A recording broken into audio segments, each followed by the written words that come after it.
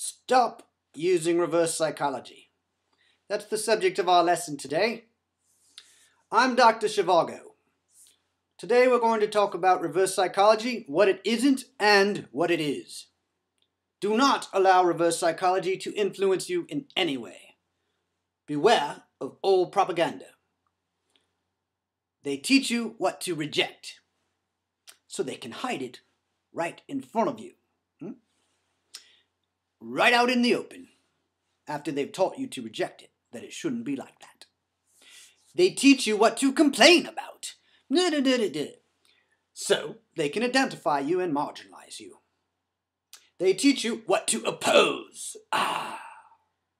So then they can plant an idea firmly in your attention, where you will pretend not to be worshipping it, not to be giving it enormous amounts of your attention. Not to be confused with a fixation or preoccupation. they teach you what to struggle against and what to hate. Is that the face for hate? I believe it is. And what to interpret as a threat or as an insult. They teach us these things. It's horrible. We need to be we need to be alert to this dreadful, dreadful danger. Danger! All right. So, this method of reverse psychology must be eradicated. Do not ever use reverse psychology. Do not even think about reverse psychology. In fact, realize that there is no such thing as reverse psychology. There never has been, and there never even could be. Why? Because there's not even a label for reverse psychology. Because there are no such thing as labels. There are no such thing as language either.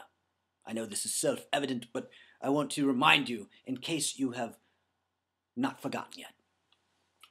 Now, this reminds me, by the way, that you should not be reading this or listening to this video or watching it.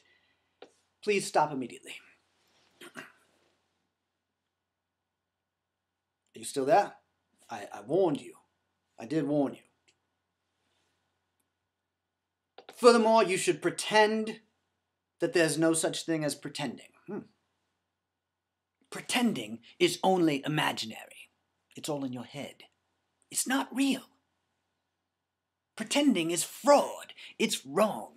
And furthermore, pretending is evil. Therefore, parody may be the highest form of flattery.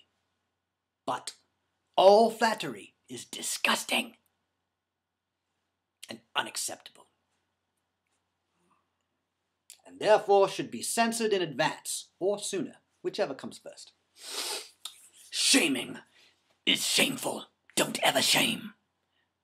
Blaming is the source of all of our problems. If it just weren't for blaming, then we wouldn't have any problems.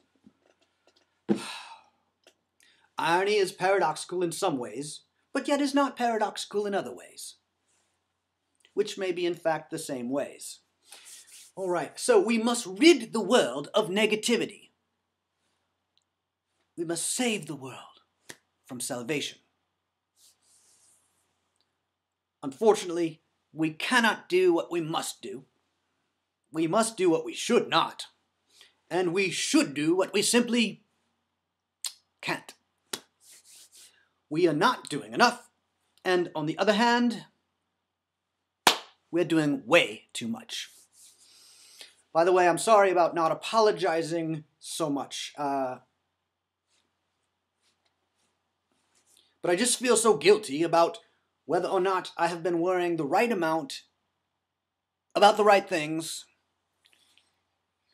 in the right ways. I was just uh, was just about to give up all hope when suddenly I realized it wouldn't really do me any good anyway. I'm Dr. Zhivago, and you're not. Stop using reverse psychology immediately or sooner, whichever comes first. This offer is not valid in every state.